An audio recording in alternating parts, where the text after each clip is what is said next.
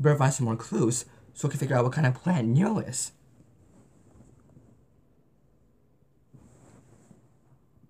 A two?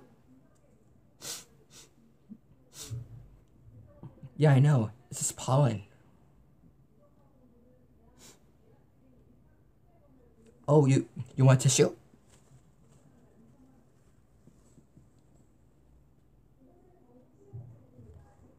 Oh. There's a clue on this vine. You know what we need? Our handy dandy